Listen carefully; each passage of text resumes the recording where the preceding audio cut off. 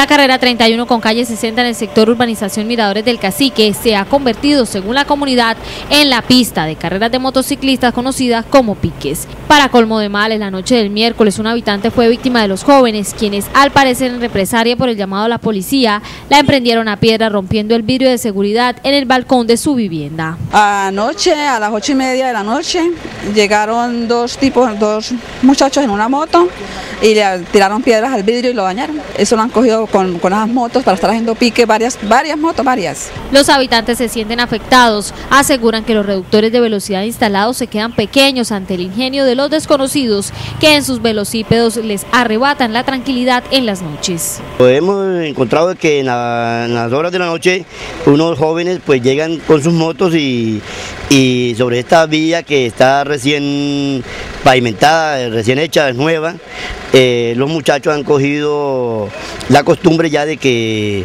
como una, una carretera de pista, donde ellos eh, a alta velocidad y levantan sus motos. Los reductores de velocidad, ese, los taches no es muy, muy seguro para, para esta clase de, problemas.